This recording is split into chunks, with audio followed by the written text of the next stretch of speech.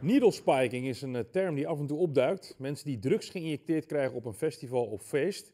Het blijft vaak in het midden of het nou wel of niet echt plaatsgevonden heeft. Maar collega Saskia Belleman is vandaag bij een zitting geweest waarbij er iemand daadwerkelijk voor veroordeeld is. Uh, Saskia, het uh, gaat over een, een, meneer die heeft dat uh, gedaan tijdens het festival Den Haag Outdoor. Wat, wat Ja. is daar gebeurd?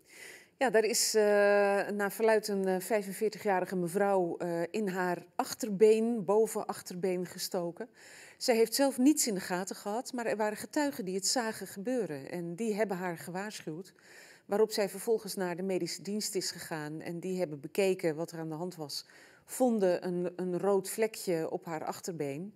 Uh, zij is vervolgens naar het ziekenhuis gegaan, het Haga ziekenhuis, waar artsen ook hebben geconstateerd dat er sprake was van een, ja, een gaatje in het been van een naald. Ja, want, want needle spiking komt eens in dezelfde, dat komt het op. Dan weer in Frankrijk, dan weer in Duitsland of waar dan ook. En dan is het altijd, blijft het heel erg in het midden of mensen het nou zich ingebeeld hebben. Ja. Uh, want er wordt dan ook geen spoor van drugs verder aangetroffen. Nee. Het is wel gek het is dat het nu echt gebeurd is. Ja, het, het, werd ook een beetje afgedaan als massahysterie tot nu toe. Ja.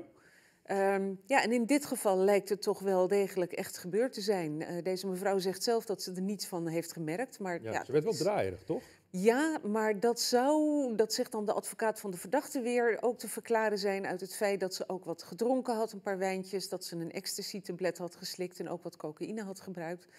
Uh, ja, dat Ja. hebben wij tijdens de zaak trouwens niet horen zeggen, maar dat stond volgens advocaat Hogendam van de verdachte in het dossier. Ja. Maar dat is dus niet besproken verder. Ja, dat kan misschien de duizeligheid hebben verklaard en misschien ook wel de gedachte ik ben gestoken en wie weet wat mij is overkomen. Ja, een soort van eh, placebo-effect Ja, krijg je dan. Ja. Levan V, het is een Georgiër. Ja. Uh, wat voor man was het uh, bij de politierechter? Ja, een man van uh, begin 30, 31 jaar oud, die op een toeristenvisum naar Nederland is gekomen en naar het festival ging om plezier te hebben, zei hij. Ja.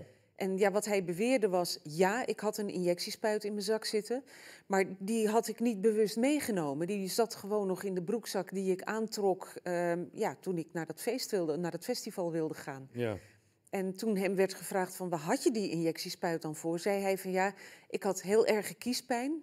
En ik had die injectiespuit gevuld met een combinatie van crack en heroïne. Ja, dat is toch gewoon een Om mijn kies te uh, verdoven. verdovingsmiddel bij de tandarts, toch? Ik zou zeggen, ga naar de tandarts. Maar hij, hij heeft gekozen voor, uh, excuus, voor zelfmedicatie. Ja. Uh, en het gekke was dat hij in eerste instantie, toen hij door beveiligers op dat festival in zijn kraag werd gepakt en hem werd gevraagd naar wat doe je met die naald, een paar keer zei sugar, sugar. En ja, de een beveiligers zeiden dat hij in zijn gebroken Engels eigenlijk hen aan het verstand probeerde te brengen dat hij suikerziekte had en dat Ja. hij daarom die injectiespuit bij zich had.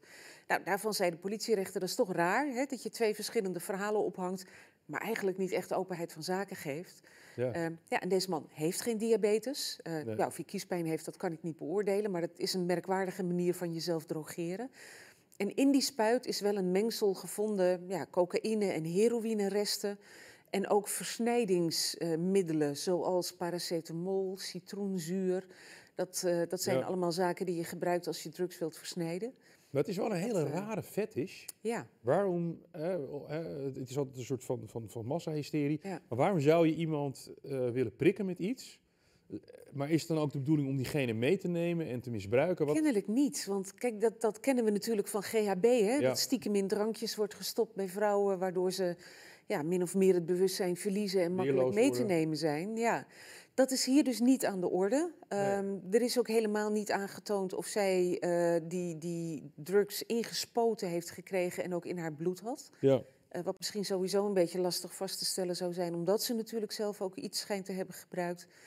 Ehm, het is niet duidelijk. En Nee. ja, deze man, dat nam de politierechter hem ook heel kwalijk, draait daar ook omheen, ontkent überhaupt dat hij, eh, dat hij iemand geprikt heeft. Ja. Dus ja, over zijn motieven is helemaal niets bekend. Nee, nee. Gelukkig waren er getuigen bij en, en Ja. is hij ook echt aangetroffen met de injectienaald. Dus in die zin, eh, want wat, wat had zijn advocaat er dan verder over te vertellen? Nou ja? Dat is dus, die heeft absoluut wel een punt. Die zegt, het onderzoek is gebrekkig geweest. Hij zegt van ja, vorige week is de dagvaarding uitgebracht. Alles duidt erop dat eh, van deze principiële zaken, de eerste over needle spiking, de rechtbank en het Openbaar Ministerie toch eh, ja, een beetje een haastklus hebben willen maken. Die wilden omdat het festivalseizoen nog volop bezig is, ook dat die zaak nu zou worden behandeld. Nou, het gevolg was dat zijn verzoeken om bijvoorbeeld de mensen van de medische dienst op het festival die dat prikgaatje hebben geconstateerd te mogen horen als getuigen, dat is afgewezen. Ook zijn verzoek om de artsen van het Haga ziekenhuis te mogen horen als getuigen is afgewezen. En ook zijn verzoek om die spuit nader te onderzoeken op DNA. Omdat hij zegt, kijk, als daar DNA van deze mevrouw op zit, nou ja, dan is het helder, hè? dan Ja. is ze gewoon gestoken. Maar wat nou als dat niet zo is? Nou, daarvan schijnt het eh, Nederlands Forensisch Instituut te hebben gezegd van... dat zegt op zich niet zoveel, want die spuit die zat in zijn broekzak. Eh daar kan zijn DNA op zitten, want hij heeft zichzelf ermee geïnjecteerd. Hij heeft hem in zijn broekzak gehad. Er Ja. zijn getuigen die zeggen dat hij meerdere festivalgangers heeft geprikt. Ook een man die die in de schouder zou hebben geprikt, dat is ook door een getuige gezien. Ja, dan zou er dus DNA op die naald kunnen zitten, maar het hoeft niet. Als het oppervlakkige eh, steken zijn geweest, ja. Dan staat het niet vast dat dat DNA erop zit. Dus ook als dat DNA van die mensen er niet op wordt gevonden, dan zegt dat volgens het NFI niks. Maar Hogendam, de advocaat van deze verdachte, zegt: ja, dat kun je wel zeggen, hè, dat zijn allemaal aannames. Maar je moet het onderzoeken. En Ja. dan pas weet je het zeker. En daar heeft hij natuurlijk wel een punt. Ja, hij heeft een punt. Alleen ehm, het feit dat je zo'n spuit bij je hebt en met een Ja. verklaring komt van kiespijn en in eerste instantie sugar, Ja. dat Ja. geeft wel aan dat je een, laat ik zo zeggen, je hebt je wel heel erg verdacht opgesteld. Ja, En nou, getuigen zien dat. Ja, dat is een feit. Eh, Ja. het barst van de, van de stevige verdenkingen tegen hem. Maar zeker als je hier zo'n principiële zaak van wil maken, dan zou je zeggen: Openbaar Ministerie, Hm. rechtbank, doe zorgvuldig onderzoek en zorg wel dat je ook echt kunt bewijzen eh, wat, je, wat je zegt. Ja. En, nou ja, daar is, ehm, ik denk dat Hogendam hier wel een punt heeft. Eigenlijk heeft hij ook meteen na de zaak aangekondigd dat er hoger beroep komt. Dus het laatste woord is hier nog niet over gezegd. Nee, want de eis was eh, drie maanden van het OM en Ja. de rechter is er overheen gegaan. Ja, de rechter heeft gezegd: eh, ik vind dat die eis van drie maanden gevangenisstraf geen recht doet aan wat hier is gebeurd. Het is ernstig, het is vreselijk dat je zoiets overkomt, dat je naar een festival gaat waar je vrolijk moet kunnen zijn. Daar moet je niet over je schouder hoeven kijken om te zien of iemand jou misschien met een injectiespuit eh, bedreigt. Dus ja, ik vind dat hier een hogere straf tegenover moet staan. En die heeft deze Georgië veroordeeld tot vijf maanden gevangenisstraf. Ja, eh, afwachten dus wat hoger beroep gaat eh, doen. Of de rechtbank echt gaat zeggen van... eh, of ga je van de politierechter ook naar de rechtbank? Of ga je dan dan ga ook je naar het Hof. Ga je Naar het Hof. Oké, Ja, dan ga je meteen ja, naar het Hof. ja. Of, of het Hof toch vindt, à la Hogedam, dat er toch Ja. iets beter onderzoek moet worden gedaan. Ja, kijk, en voor die, deze Georgiër maakt het op zich niet zoveel meer uit, want die zit vast en die blijft vast. Ja, tegen de tijd dat het hoge beroep dient, heeft hij dat er waarschijnlijk al lang al op zitten. Dus ehm, ja, de kans dat dat voor hem nog iets oplevert in de zin van eerder vrijkomen, eh, dat is nihil. Saskia Belleman, dankjewel. Graag gedaan.